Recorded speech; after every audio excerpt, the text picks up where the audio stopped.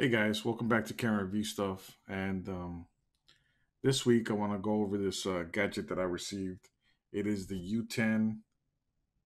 Try to get the light there. U10 uh, OBD scan tool, right? And I'm actually going to use it on my vehicle because I've got a code right now, um, and I want to see how if we can actually delete it, right? Since I already know what it is, it actually tells me on the on the board on the um, on the panel, but it looks pretty sturdy. It's got a data port right there. It's got another one right here, right, and that's so when you're ready to upgrade the software or there's any updates on the software, you're able to do that. Um, you can tell it's very simple to read. You got arrows up and down. You got okay, and it's actually the way it looks. Right, you'll see it. You'll see it working right now, but that's the manual, by the way, which don't really help you much. Um, this is the cable that it comes with, and there's your parallel cable there, and then your OBD uh, port there for your, for your vehicle, and then you have this cable here, which uh, is for your updating. Just the one on the side. So let's get into it. Hey guys, so right now what we're gonna do is I'm gonna attempt to use the U10 scanner on the vehicle and uh, I was trying to locate it first, which you can see it is, where is it? Uh, right there. And I'm gonna get my son right now to help me. Say hi, Kev. What's up? So he's gonna help me hold the camera while uh, I kind of go over the uh, the menu and stuff. Like I said, I've never really used it for anything, and I actually don't know how to use it. And the instructions were kind of difficult to interpret. So here we go. So the things that I did understand were, you know, make sure you connect everything and do not disconnect or connect while the vehicle's on. So right now the vehicle's off. I have to get in here and connect this thing. You want me to show where we're plugging it in? I already showed. Oh, okay. So we're good. And I'm going to connect it right here. Here.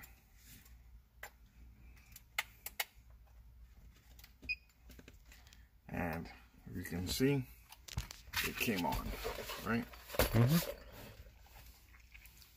It's simple enough. Up, down arrow, right and left. And then you got your OK.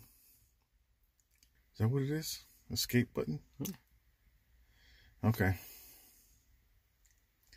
And then you have your question.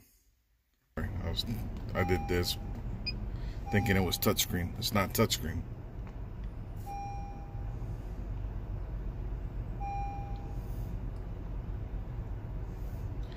So you can tell right here, right? It's giving you several several readings. And we want to read the codes right? So hit okay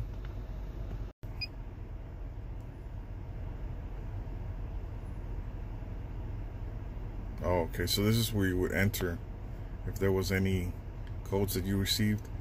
And I guess it's got a library of the ones that you, of the codes that you have received. Cool information.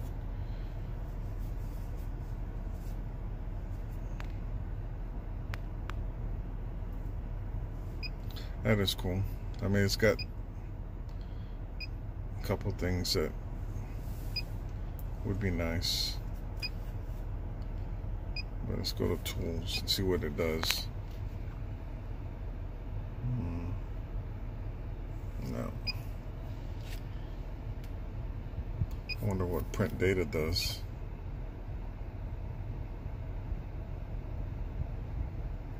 I guess uh, the print data would be if you had it connected to your computer. I Can't imagine that you have it, uh, that it's gonna print something here. So on the dashboard, we have an emissions. Oh, An engine, right? no, yeah, but that problem popping up. Look at that. Okay, so I'm gonna run the diagnostics. Diagnostics. You should be one. Alright, let's. We're on a mission. All right. Figure out what the heck is wrong with our car. What do you think? It says lost communication with instrument panel cluster. What is that? I have no idea what that means. I have to look it up after. I'm gonna hit record DTC. All right. Because now I'm gonna wanna delete it.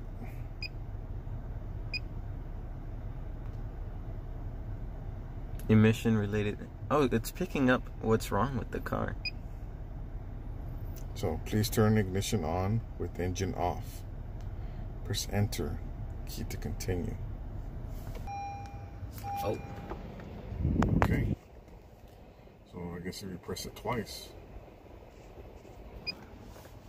twice is the key. A little unconventional. Oh. Okay, so what what's wrong now? I don't know.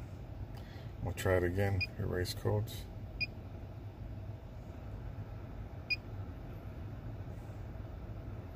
Okay, so it says that it has been cleared. So the key is to not have your engine running, Right. not have it in accessory mode, but have it in Ignition mode. ignition mode. So Which if for you had a regular key, your first one is your accessories. The next one is ignition, which I guess turns on your vehicle system. Uh, you can tell that even the AC kicked in. And then an accessory one it didn't. The only thing you saw was like the the radio and the front panels kicked on, but and you also you can tell that you no longer have the that maintenance one. That's because we got to change the oil, but you don't see the other one anymore. You don't see the engine working. the emissions, yeah. hmm So I guess it does work, right?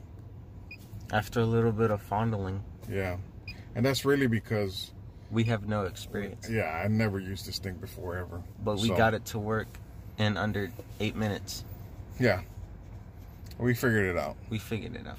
So I'm pretty sure that after people watch this, you know, They'll have you'll figure it. I think we didn't we didn't have any problems with uh, figuring out how to use this software. it's easy as can be. The problem was we couldn't figure out how the push button, how to put it in the actual ignition mode that it was Because asking there's no for. key. It's just a booting, you know? So there it is. It works. It cleared the, the problem. All right, so there you have it. Here's the scanner, right? You saw it working. Um, you saw a delay in trying to figure out what I had to do, but that was mainly because I didn't know how to get to the ignition mode on my uh, push button ignition or start on the vehicle. It wasn't uh, this guy's fault. So, um, you press it once for accessory mode, press it twice for ignition mode, and of course you want to turn on the vehicle, you press the brake and push the button at the same time. So could have been a, a lot faster, a lot quicker, but it still did the job. I was able to erase the code, which saved me a lot of money, right? And um, that is that. It works. Pretty durable. Look at this. And it's, I mean, it's going to be difficult to kind of break this. So, there you go, guys. Don't forget to like and subscribe. We'll see you next week with another product. Peace.